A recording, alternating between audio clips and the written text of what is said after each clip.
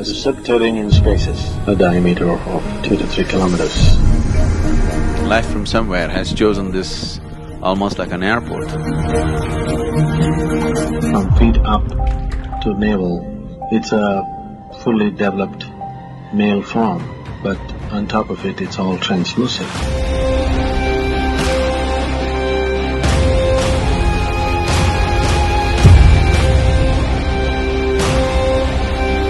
Problem was he could enter the solar system only at certain times. They want me minus my body. It would be nice one day to step in and see what the hell.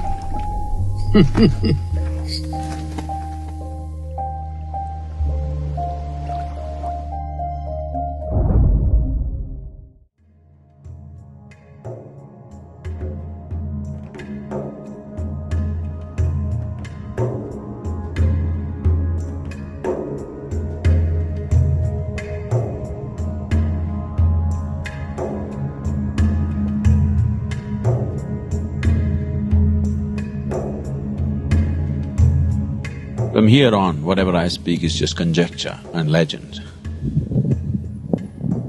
We're not hundred percent of sure of anything that I say from now on. We're just looking at it.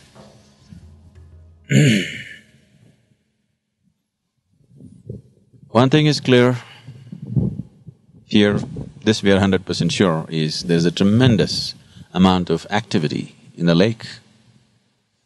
And this activity is…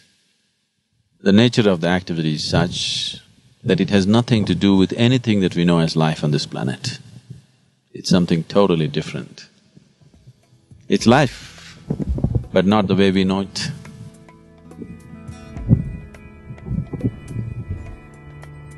I wouldn't call Manasarovar a spiritual place because spirituality is out of human being. These beings, if you can call them that, I don't know what we can call them, whether we can call them beings or things or creatures or what. We have no words for things or happenings which don't belong to our realm of experience. They don't belong to anything that we know as life. So for now, due to lack of words, we'll call them beings. Their nature is nothing to do with who we are and what we are, on this level at least. So this is not really a spiritual place, but somehow life from somewhere has chosen this almost like an airport. They're just landing, taking off, landing, taking off at a tremendous pace. This is just crazy. This doesn't stand to any reason. Why for millions of years, one particular spot on the planet has been used by life which doesn't belong here? Why? And why the same place? And why for so long?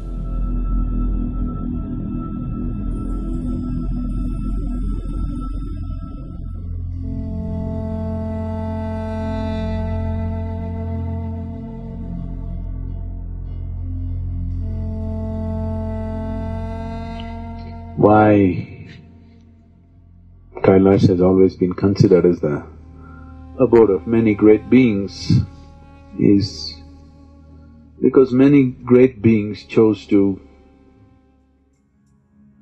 deposit their work, preserve their work in Kailash. Starting from Shiva himself,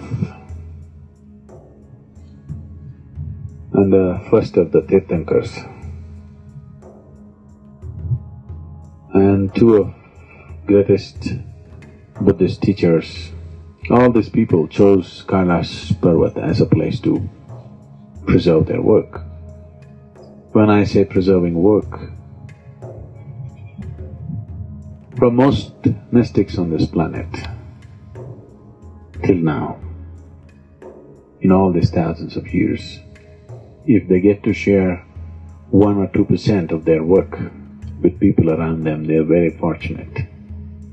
Most of them don't even get to do that. So they always chose to deposit in some space which is not too frequented by human beings. At the same time, it's accessible for those who wish to go. So Kailash is such a place. It is not totally inaccessible, but it's hard enough to discourage a lot of people. There are many, many places like that. But in terms of the volume and the variety that's been deposited in Kailash, it is the place. So this is why it is known as the abode of Shiva, not because if you dig in the rock somewhere you will find him, because everything that he knew has been deposited there in a certain energy form. So, all that is valuable for us in his life, from his life, is here. So in that sense, he's alive here. He's still living here because in an energy form, he's alive. Many beings are alive there. But it, you should not go about imagining because the first thing that happens to people who go to Kailash and Manasarovar and come is they looked up in the sky, you see that? Shiva and Parvati. Don't miss the bull.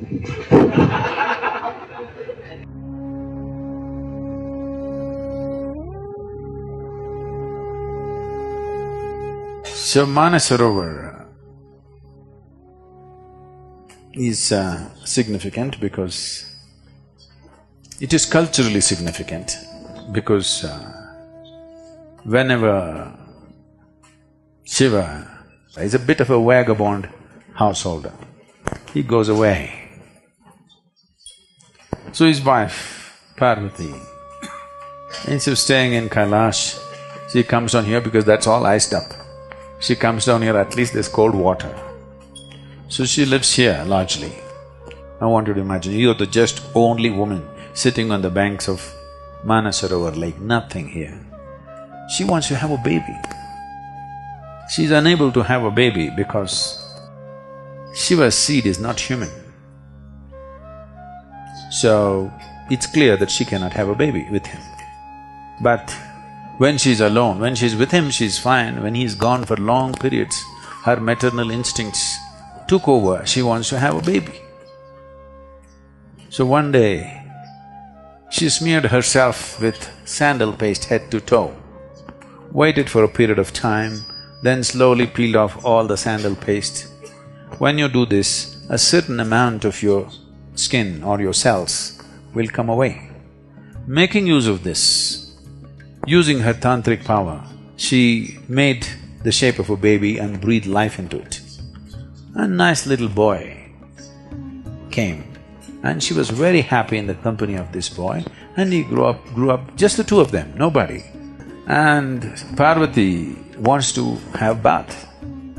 So she set up a small barrier and asked the boy to watch out, that nobody comes this way. So the boy took this duty as a very… he's very proud to guard his mother. He's in that state. And Shiva and his friends landed up.